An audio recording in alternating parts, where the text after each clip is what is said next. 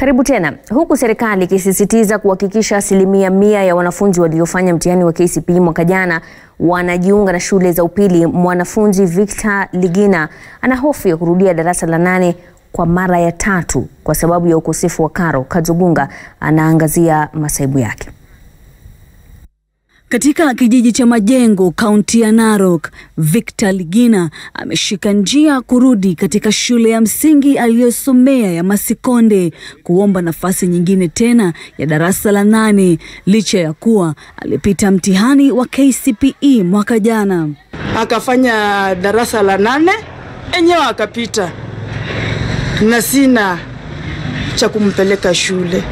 2018 he got 295.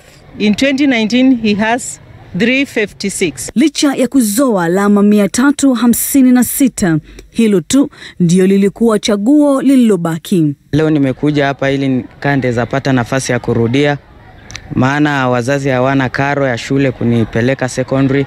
Victor aliitwa katika shule ya upili ya Aquinas hapa jijini Nairobi, ila hali ya umaskini imekatiza safari yake. Mi dream yangu nilikuwa nataka niwe pilot. na kilomita nyingi kutoka hapa katika wodi ya Basuba, kaunti ya Lamu, iliyoko katikati ya msitu wa Boni, wanafunzi zaidi ya mia mbili wameshindwa na la kufanya. Ukienda shuleni tunafukuzwa, tunaambia amkulipiwa basari, ndio tunateseka sana. Sisi tunataka kusoma.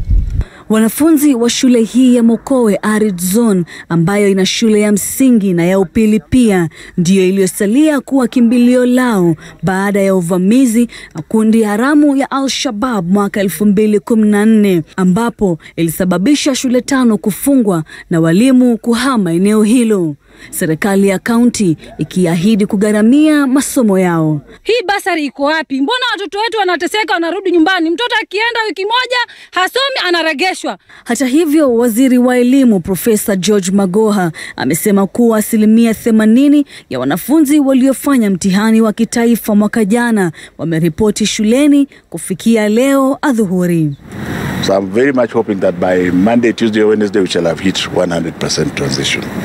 Kazogunga, runinga ya Citizen.